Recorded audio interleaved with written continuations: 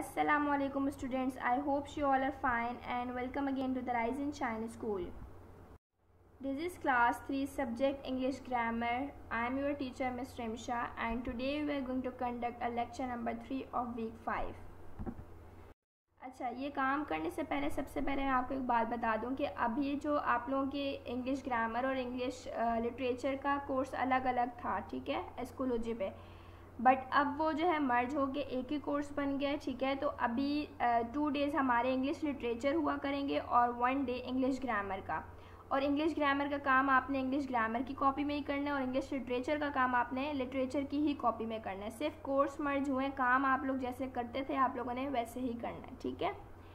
अच्छा जी ग्रामर की कॉपी में आप लोगों ने आज क्या करना है? आज हम लोग ऐसे करेंगे माई क्लासरूम इसी तरह आपने इसका टाइटल पेज बनाना है, इसी तरह बुलेट पॉइंट लिखने हैं और इस तरह ये सब लिखना है। White board lights fan clock chairs informative chart students bright air and cupboard ठीक है? इस तरह एक पेज पे लिखना है। एंड द नेक्स्ट पेज जी, आपने नेक्स्ट पेज पे इस तरह ये काम करना है। एक और चीज़ ये बता दूँ कि यहाँ पे जो लाइंस आप लोगों की लगी हुई है सिंगल लाइन है ठीक है? यहाँ पे एक ही लाइन लेकिन आप लोगों की कॉपी में फोर लाइंस लगी हुई होंगी। तो आपने उसी तरह प्यारा प्यारा काम फोर लाइंस में करना है। आ, सबसे पहले आप लोग डेट डालेंगे यहाँ पे उसके बाद माई क्लासरूम आप लोग ब्लू कलर से लिखेंगे और भी फिर ये सारा जो काम है आप लोगों ने पेंसिल से लिखना है अच्छी राइटिंग में। ठीक है?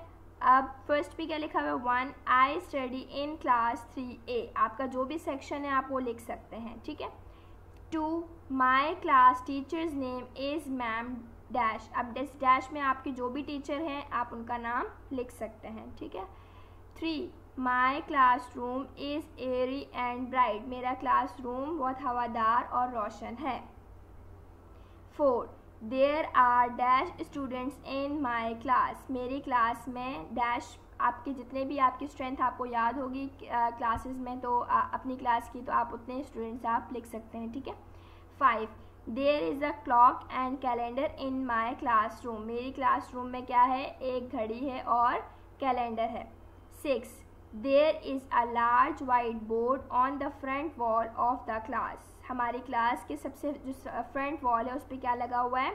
White board seven there is one cupboard where we keep our copies एक से, हमारे क्लासरूम में एक अलमारी भी है, जिसमें हम लोग क्या रखते हैं? अपनी copies eight my class room has one door and two windows मेरी क्लासरूम में एक दरवाज़ा है और दो खिड़कियाँ हैं।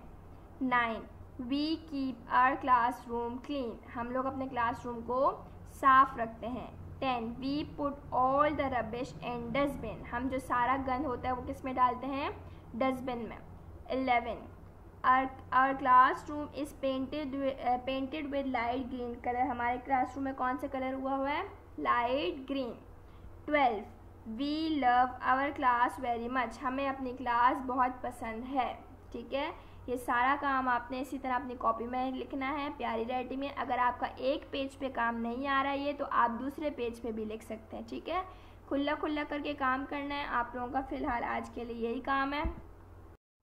होमवर्क होमवर्क में क्या है? Write this work in your grammar copy में। फिर से बोल रही हूँ कि ये काम ग्रामर की कॉपी में करना है, ठीक है? And learn all grammar work which has been done in your copy and grammar book for monthly test और आपने अपना ग्रामर कॉपी क्या नाम है ग्रामर की कॉपी में और ग्रामेट्री की बुक में जितना भी काम अब तक हमने कर लिया है, वो सारा आप लोग याद करेंगे फ़र्स्ट मंथली टेस्ट के लिए, ठीक है? ये बस आज आज की आप लोगों की डायरी है। थैंक यू अल्लाह हाफ़ अपने एग्ज़ाम्स की तैयारी करें और अपना ख्याल रखें।